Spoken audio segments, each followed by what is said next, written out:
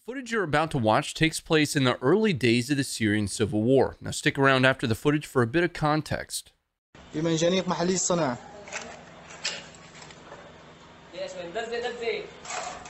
Let's go. Come on.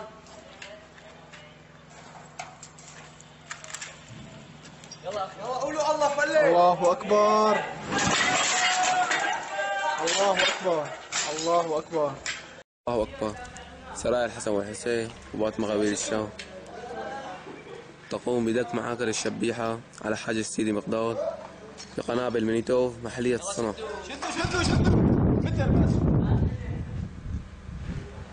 شدوا يا شباب كمان شوي يا شباب. كمان شوي صغيرين رجعوا رجعوا رجعوا يلا روح.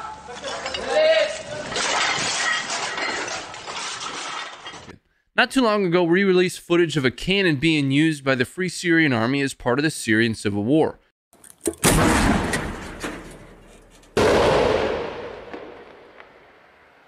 We wanted to take things even further back into history with the use of a catapult, specifically in this instance, a counterweight trebuchet.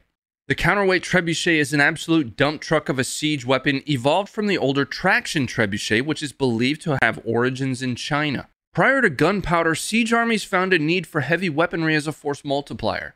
And what arose from that was a host of siege engines, including battering rams, ballista, and early catapults, including the traction and counterweight trebuchets.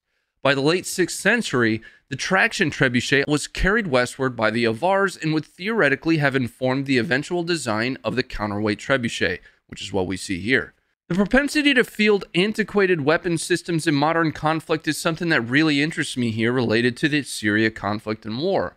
As technological mitigation to modern weaponry advances and economy breaks down due to war, it's interesting to watch the reversion to rudimentary arms. Everyone knows the saying from Albert Einstein I know not with what weapons World War III will be fought, but World War IV will be fought with sticks and stones. I think this type of footage directly supports that. What are your thoughts on the use of the trebuchet, the cannon, and even the slingshots that we showed you in modern conflict? Let us know in the comments. Let's take a second before I jet out of here and talk about our episode sponsor, Jake's Mint Chew. When I was trying to quit smoking and dipping, and this is something that I'd been doing since I was a teenager, the only options I had at hand included stuff like patches and pills and other medications that I just didn't want to put into my body. Now, during my second deployment to Afghanistan, a team member of mine was kind enough to offer a can of Jake's Mint Chew, and I was able to use that with a few extra cans to supplement my chewing habit over the course of a couple months so that I could eventually quit, and I did. Jake's Mint Chew is a tobacco free and nicotine free alternative to chewing that's got plenty of flavors and comes in pouches and long cut.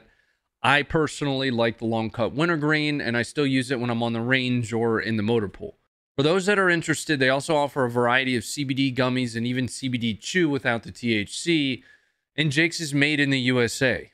It's a great product to help you bring in your New Year's resolution to quit chewing with, and you guys can use the code HEROES for 15% off your order as a thank you to our veterans, military, and public service community members. Focus this New Year's resolution on you, kick that habit, and you can do that with Jake's.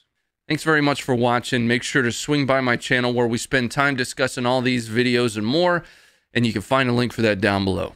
Hit the like, hit the sub, hit the bell, and stay informed.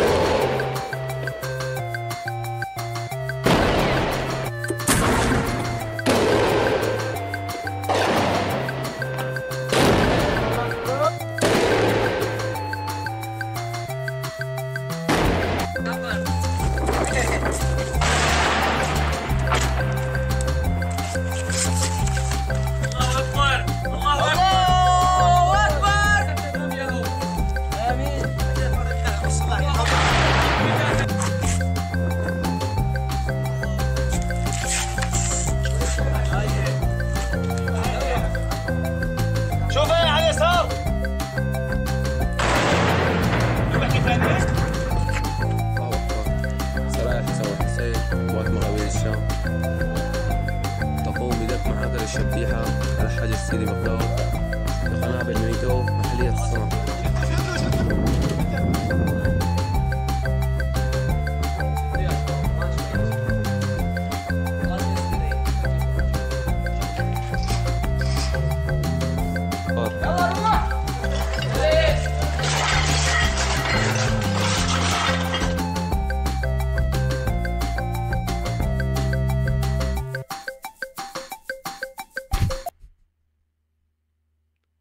I'm sorry.